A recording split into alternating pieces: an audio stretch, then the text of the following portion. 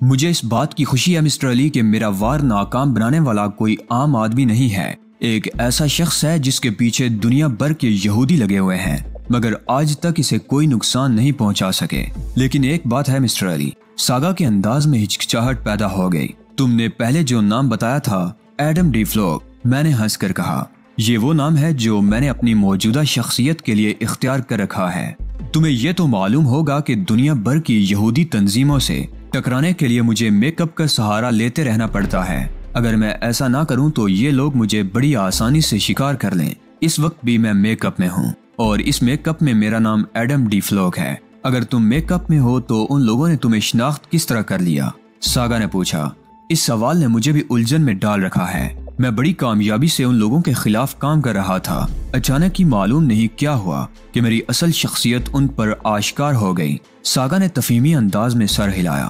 Eagles بہرحال ایک بڑی تنظیم ہے اور اس کے وسائل لامحدود ہیں۔ یہی کیا کم ہے کہ تم ان سے بچ نکلے۔ تم نے اپنے بارے میں کچھ نہیں بتایا ساگا۔ تم کون ہو اور ایگل سے تمہاری اند بن کیوں ہو گئی؟ ایگلز ایک عالمی تنظیم کا نام ہے۔ تقریباً دنیا کے ہر ملک میں اس کی شاخیں موجود ہیں۔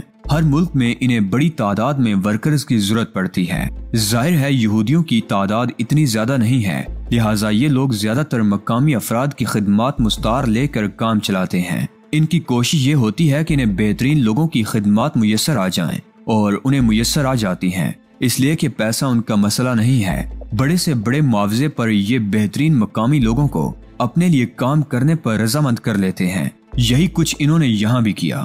میں ابتدا میں ہی ایگل سے وابستہ ہو گیا تھا۔ اس سے قبل میرا ایک چھوٹا سا گروہ ہوا کرتا تھا۔ میں کوئی بہت اچھا آدمی نہیں ہوں، ایک مجرم ہوں، لیکن میرے ہمیشہ سے کچھ اصول رہے ہیں۔ جن پر میں سختی سے کاربند رہتا ہوں۔ انہی اصولوں میں سے ایک یہ بھی ہے کہ مظلوم اور کمزور کو نقصان پہنچانے سے گریز کیا جائے۔ میں ان لوگوں کی تنظیم میں شامل تو ہو گیا، مگر مجھے بعد میں پتا چلا کہ اب مجھے وہی کچھ کرنا ہوگا جو وہ لوگ چاہیں گے۔ میری اپنی مرضی کی کوئی حیثیت نہیں ہے۔ ایسے میں میرے پاس دو راستے تھے، یا تو فوری طور پر ان سے الگ ہو جاتا، یا پھر پہلے اپنی مضبوطی کرتا۔ میں نے دوسری صورت کو ترجیح دی۔ اور خود کو مضبوط کرنے کے بعد ان سے علیحدہ ہو گیا۔ میری اس بغاوت پر انہوں نے میرے خلاف کارروائی کرنے کی کوشش کی، لیکن جلد ہی انہیں اندازہ ہو گیا کہ وہ میرے اس کلے کے مضبوط حسار کو نہیں توڑ سکتے۔ اس لیے انہوں نے میرا پیچھا چھوڑ دیا۔ خود میں ابھی تک اس، خود میں ابھی تک اس پوزیشن میں نہیں آ سکا کہ انہیں کھل کر للکاروں۔ اس لیے میں نے بھی خاموشی اختیار کر رکھی ہے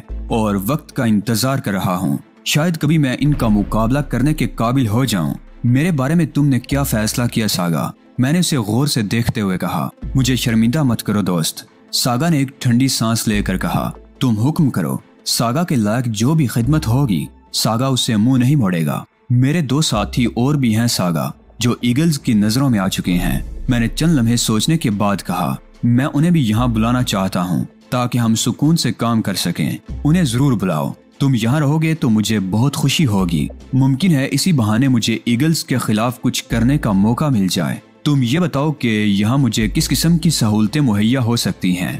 ہر قسم کی سہولتیں مہیا ہو سکتی ہیں۔ تمہیں اور تمہارے ساتھیوں کو رہنے کے لیے جگہ کی کوئی کمی نہیں ہوگی۔ اسلحے کی یہاں کمی نہیں ہے۔ ٹرانسمیٹر، فون وغیرہ، ہر چیز دستیاب ہے۔ فی الحال ٹرانسمیٹر میرے کام آئے گا۔ باقی چیزیں فوری ضرورت کی نہیں ہیں۔ اس کے علاوہ اپنے ساتھیوں کو یہاں لانے کے لیے مجھے کسی گاڑی وغیرہ کی بھی ضرورت ہوگی۔ گاڑی کا بھی کوئی مسئلہ نہیں ہے، ساگا نے کہا۔ مگر تم یہی رہو، اپنے ساتھیوں کو یہاں کا پتہ بتا دو، وہ خود آ جائیں گے۔ میں ساگا کی تجویز پر غور کرنے لگا۔ تہذیب مالکم ایکس اور برڈ کے علاوہ میں مادام کلارا کو بھی یہیں بلانا چاہ رہا تھا۔ علی گروپ کے دیگر ارکان کی اب ضرورت نہیں رہی تھی۔ وہ چونکہ ایگلز کی نظروں میں نہیں آئے تھے لہٰذا بے خوف و خطر واپس بھی جا سکتے تھے۔ لیکن مسئلہ یہ تھا کہ تہذیب بڈ اور کلارا کی نگرانی ہو رہی ہوگی۔ خاصی سوچ بچار کرنے کے بعد میں اس نتیجے پر پہنچا کہ تہذیب اور بڈ میں اتنی صلاحیت ہے کہ وہ تعقب کرنے والوں کو ڈاج دے کر یا ان کے ہاتھوں کوئی نقصان اٹھائے بغیر یہاں تک پہنچ سکتے ہیں۔ ٹھیک ہے ساگا، میں نے ایک طویل سانس لے کر کہا۔ مجھے ٹرانسمیٹر دو، میں ٹرائی کرتا ہوں۔ ساگا نے مجھے ٹرانسمیٹر لا کر دیا اور میں نے تہذیب سے رابطہ قائم کرنے کی کوششیں شروع کر دی پہلے ہی کوشش میں رابطہ قائم ہو گیا۔ دوسری طرف بڑھ تھا۔ میری آواز سن کر اس نے خاصے جوش و خروش کا مظاہرہ کرنے کی کوشش کی تھی، مگر میں ٹرانسمیٹر پر طویل گفتگو نہیں کرنا چاہ رہا تھا۔ تہذیب کہاں ہے؟ میں نے بڑ کی بات کاٹ کر کہا۔ میں کوڈ ورڈز میں گفتگو کر رہا تھا۔ میرا اندازہ تھا کہ بڑ نے بہت برا سموہ بنایا ہوگا۔ لیکن اس نے کچھ کہے بغیر تہذیب کو بلا دیا۔ تمہاری نقل و حرکت پر کسی قسم کی پابندی تو نہیں ہے تہذیب۔ میں نے بلا تمہید پوچھا، نہیں، لیکن ہماری نگرانی کی جا رہی ہے اور نگرانی کرنے والے علل اعلان نگرانی کر رہے ہیں۔ اس سے کوئی فرق نہیں پڑتا۔ میری بات غور سے سنو۔ مجھے ایک بہت عمدہ ٹھکانہ میسر آ گیا ہے۔ میں چاہ رہا ہوں کہ تم اور بڑ مادام کلارا کو لے کر یہیں آ جاؤ۔ تم یہ کام کر لو گی یا میں آؤں؟ کوئی کام دوسروں پر بھی چھوڑ دیا کرو علی۔ تہذیب نے برا مان کر کہا، ایسا بھی کیا کہ چھوٹے چھوٹے معاملات میں بھی تمہاری ٹانگ پھنسی رہے۔ ٹھیک ہے تہذیب، ذرا دیر توقف کرو۔ میں تھوڑی دیر بعد تمہیں دوبارہ کال کرتا ہوں۔ میں نے رابطہ منقطع کر کے مادام کلارا کو کال کی۔ تم کئی گھنٹے سے غائب ہو، ایڈم۔ میری آواز سنتے ہی کلارا پھٹ پڑی، مگر میں نے اس کی بات کاٹ دی۔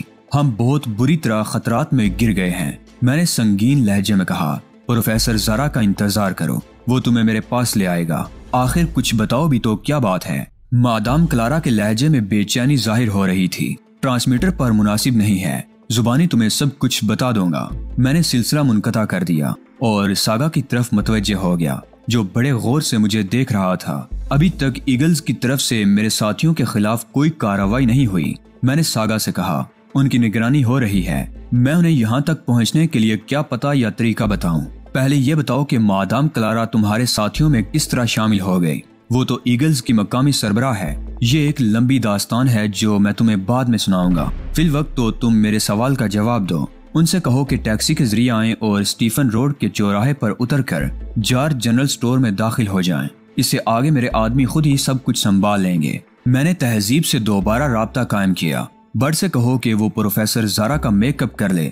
اور اس کے بعد تم اور بڑ مادام کلارا کے پاس جاؤ۔ میں نے اسے کہہ دیا ہے کہ میں پروفیسر زارا کو بھیج رہا ہوں۔ تم لوگ اسے لے کر ٹیکسی میں سٹیفن روڈ کے چوراہے پر اترو اور جارج جنرل سٹور میں داخل ہو جاؤ۔ اس کے بعد تمہیں خود کو حالات کے دارے پر چھوڑ دینا ہوگا۔ تم کب تک پہنچ جاؤ گی؟ اس وقت ساڑھے دس بج رہے ہیں۔ یہ سارے کام سر انجام دے کر وہاں تک پہنچنے میں کم از کم ڈیڑھ گھنٹہ تو لگ ہی جائے گا۔ ٹھیک ہے، میں تمہارا انتظار کر رہا ہوں۔ رابطہ منقطع کر کے میں نے ساگا کی طرف دیکھا۔ تمہیں مقدس کیوں کہا جاتا ہے، مسٹر ساگا؟ میرے ساتھیوں کی حماقت کی وجہ سے۔ ساگا نے کہا، مقدس کا لفظ سن کر یوں معلوم ہوتا ہے، جیسے میں کوئی روحانی پیشوا ہوں۔ میرا خیال بھی یہی تھا۔ میں نے سر کو تفیمی انداز میں جنبش دی۔ اب یہ بھی بتا دو کہ ہم لوگوں کی رہائش کے لیے کیا بندوبست کرو گے۔ وہ تو میں بتا ہی دوں گا۔ ساگا نے کہا، لیکن میں مادام کلارا کے بارے میں جاننے کے لیے بے چین ہوں۔ اس کے بارے میں جانے سے قبل تمہیں رینا سالومنا فالکن کے بارے میں بھی جاننا پڑے گا۔ میں نے ہنس کر کہا اور اسے مختصراً سارے حالات سے آگاہ کر دیا۔ وہ حیرت سے مجھے دیکھ رہا تھا۔ مجھے تو معلوم ہی نہیں تھا کہ مادام کلارا کی جگہ نیا سربراہ آ گیا ہے۔ اس نے کہا، معلوم کیسے ہو سکتا تھا؟ وہ بیچارہ کل شام ہی تو یہاں پہنچا ہے۔ تمہاری اس بات میں بھی وزن ہے۔ کہ آخر اس نے تمہیں اور میڈم ایکس کو کس طرح پہچانا؟ یہ میرے لیے بہت بڑی الجھن ہے، لیکن مجھے امید ہے کہ میں اس گتی کو سلجھانے میں ضرور کامیاب ہو جاؤں گا۔ مادام کلارا ایک صفاق اور سنگ دل عورت ہے، ساگا نے کہا، اور وہ مجھ سے واقف بھی ہے۔ شاید میں اسے دیکھ کر خود پر قابو نہ رکھ سکوں۔ میں نے عہد کیا تھا کہ موقع ملتے ہی اسے ٹھکانے لگا دوں گا۔ تم ایسی حماقت نہیں کرو گے، ساگا۔ میں نے اسے گورتے ہوئے کہا، تمہیں یہ بات ذہن میں رکھنی چاہیے کہ بڑے مقاصد حاصل کرنے کے لیے چھوٹی موٹی قربانیاں دینی ہی پڑتی ہیں۔ مادام کلارا کو ختم کرنے سے کچھ بھی حاصل نہیں ہوگا۔ ایگلز کو برائے نام بھی نقصان نہیں پہنچے گا۔ ان کا سارا کاروبار پہلے ہی کی طرح چلتا رہے گا۔ آدمی کم از کم ایسا کام تو کرے جس سے تھوڑا بہت فائدہ تو ہو۔ تم مجھے بہت مشکل کام بتا رہے ہو، علی۔ ساگا نے کہا، میرے لیے بہتر یہی ہوگا کہ میں اس کا سامنا ہی نہ کروں۔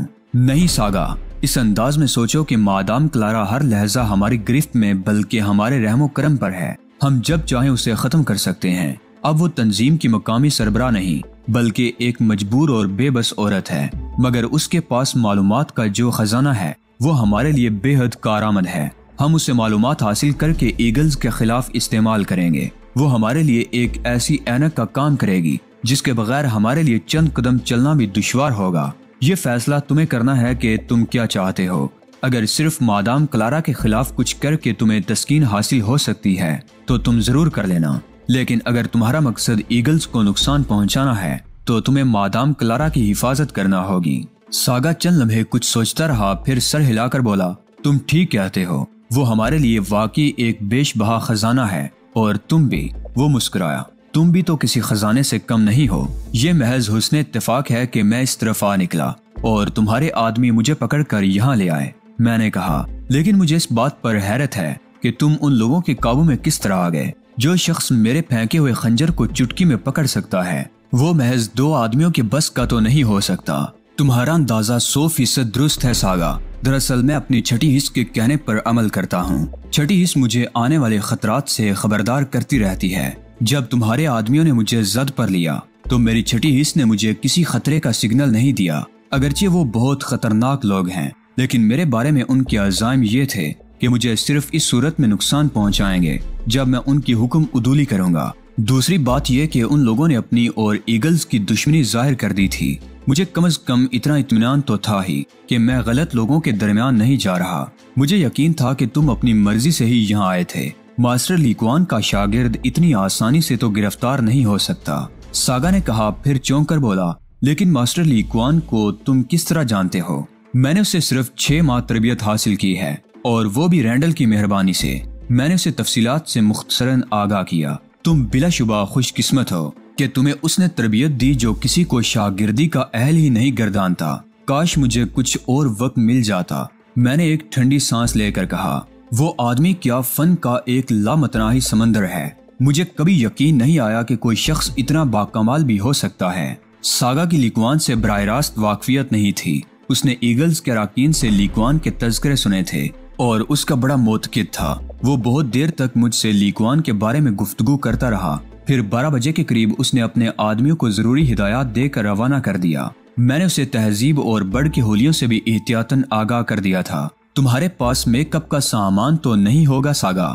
میں نے ساگا سے پوچھا۔ نہیں ہے تو آ جائے گا۔ ساگا نے کہا۔ تمہیں جن چیزوں کی ضرورت ہو ان کی فہرست بنا کر مجھے دے دو۔ میں تمہیں ابھی منگوا دوں گا۔ میں نے ساگا کو اس سامان کی ایک فہرست بنا دی۔ جو مجھے درکار تھا، اور ساگا نے ایک شخص کو سامان منگوانے کے لیے بھیج دیا۔ کوئی پونے ایک بجے کے قریب قریب تہذیب وغیرہ وہاں پہنچ گئیں۔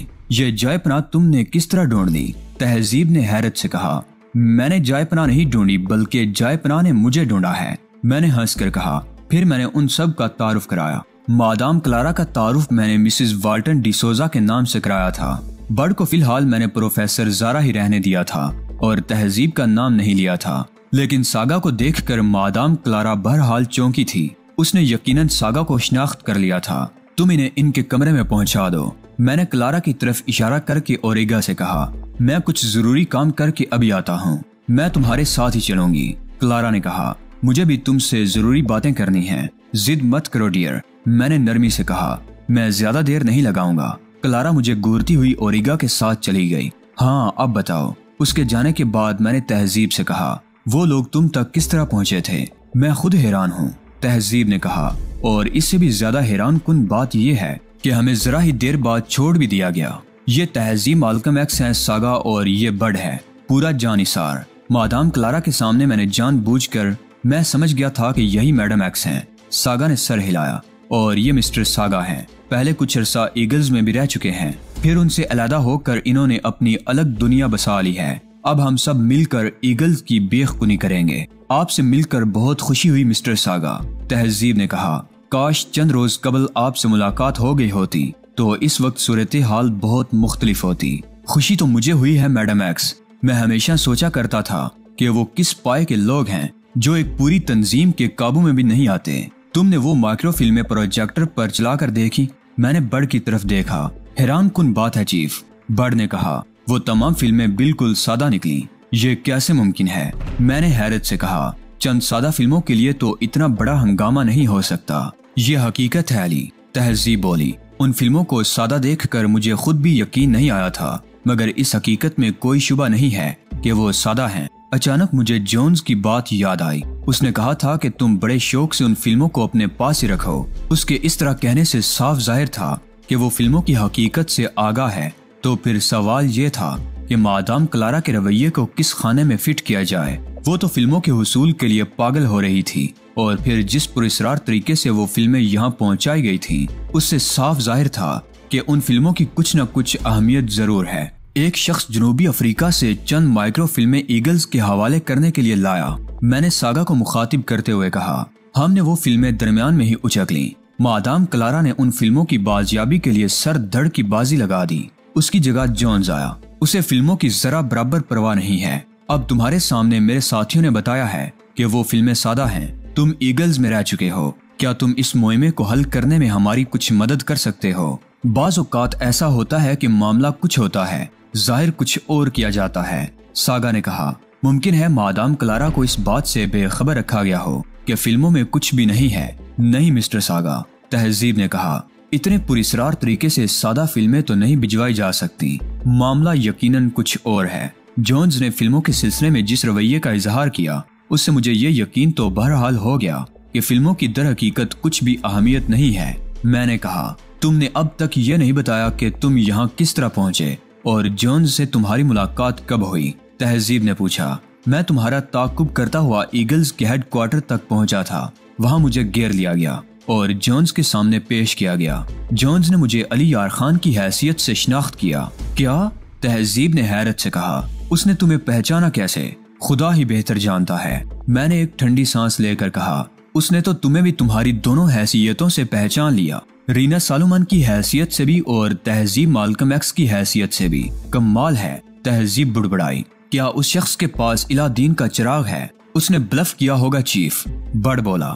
اور تم اعتراف کر بیٹھے ہوگے۔ میرا خیال ہے کہ تم سے کوئی کوتاہی ہوئی ہے، جس کے سبب وہ لوگ تم تک پہنچ گئے۔ مجھ سے بڑ نے حیرت سے آنکھیں پھاڑ کر کہا، یہ اچھا طریقہ ہے چیف۔ جب کوئی بات سمجھ میں نہ آئے تو سارا الزام بڑ بیچارے کے سر ڈال دو۔ میں نے اس معاملے پر بہت غور کیا ہے۔ یا تو ہم یہ مان لیں کہ جونز اپنے ساتھ واقعی الادین کا چراغ لے کر یہاں پہنچا ہے، یا پھر یہ مانے کہ اسے ہماری کسی کوتاہی سے فائدہ اٹھانے کا موقع ملا ہے۔ پہلی بات مانی نہیں جا سکتی، اس لیے کہ یہ الف لیلوی دور نہیں ہے۔ دوسری بات کرین قیاس ہے۔ غلطی کسی سے بھی ہو سکتی ہے۔ ایگلز والے ہماری طاق میں پہلے ہی تھے، لہٰذا انہوں نے پہلا موقع ملتے ہی ہمیں چھاپ لیا۔ ممکن ہے تم سے ہی کوئی ایسی غلطی ہو گئی ہو، جس کی بنا پر ہمیں پہچان لیا گیا ہو۔ بڑ نے کہا، اگر تمہارا واقعی یہ خیال ہے، تو اپنے اس خیال کے حق میں کوئی دلیل پیش کرو۔ یہ طریقہ خوب ہے، چیف۔ جب تم دوسرے پر الزام لگاؤ تو کسی دلیل کی ضرورت نہیں۔ اور جب بات تم پر آنے لگے تو فوراً دلیلوں کا مطالبہ کرنے لگو۔ یہ کوئی انصاف تو نہ ہوا چیف۔ مجھے ہنسی آ گئی۔ بڑھ کے بات کرنے کا انداز ہی ایسا تھا کہ میرے لیے ہنسی روکنا دو بر ہو گیا تھا۔ میں نے تمہیں پہلے ہی منع کیا تھا کہ یہاں شی گورائے میں مائکرو پروجیکٹر حاصل کرنے کی کوشش مت کرنا۔ لیکن میں نے اس کے لیے بہت محفوظ طریقہ کار اختیار کیا تھا چیف۔ بڑ نے کہا، اس وقت بحث اس بات سے نہیں ہے۔ کہ تم نے کتنا محفوظ یا مخدوش طریقہ اختیار کیا تھا۔ اصل مسئلہ یہ ہے کہ پروجیکٹر کے حصول کے محض چند گھنٹوں کے اندر اندر تم دونوں کو چھاپ لیا گیا۔ بڑ کا منہ کھل گیا۔ وہ لاجواب ہو گیا۔ مگر بات ماننے کے لیے تیار نہیں تھا۔ کوئی اور ذریعہ بھی تو ہو سکتا ہے، چیف۔ اگر تمہارے ذہن میں کوئی اور امکانی ذریعہ ہو تو ہمیں بھی بتاؤ۔ میں نے کہا، اس سے خام خواب بحث مت کرو۔ تہذیب نے کہا اچھا چلو میں مان لیتا ہوں کہ مجھ سے ہی کوئی بے احتیاطی سرزد ہوئی ہے۔ لیکن یہ تو بتاؤ کہ اس نے تمہیں علی یار خان کی حیثیت سے کس طرح پہچان لیا؟ یہ بات بہرحال حیران کن ہے اور فی الحال اس کا کوئی امکانی ذریعہ بھی نظر نہیں آتا۔ میں نے کہا، ضرور تم سے بھی کوئی غلطی ہوئی ہے۔ بڑ نے بڑی سنجیدگی سے مجھ پر جوابی الزام عائد کیا۔ ممکن ہے ہو گئی ہو۔ میں نے بے پرواہی سے کہا۔ اب تو جو ہونا تھا ہو چکا۔ ہمیں آگے کی فکر کرنی چاہیے۔ جب اسے ہم لوگوں کی حیثیت معلوم ہو گئی، تو پھر اس نے ہمیں چھوڑ کیوں دیا؟ تہذیب نے کہا۔ ہائی کمان کی طرف سے اسے حکم ملا تھا کہ ہمیں کوئی گزن پہنچائے بغیر چھوڑ دیا جائے۔ یہ تو بڑی ناقابل فہم سی بات ہے۔ تم انہیں جس قدر نقصان پہنچا چکے ہو، اس کے بعد تو انہیں تمہارے ساتھ کوئی رایت برتنی ہی نہیں چاہیے تھی۔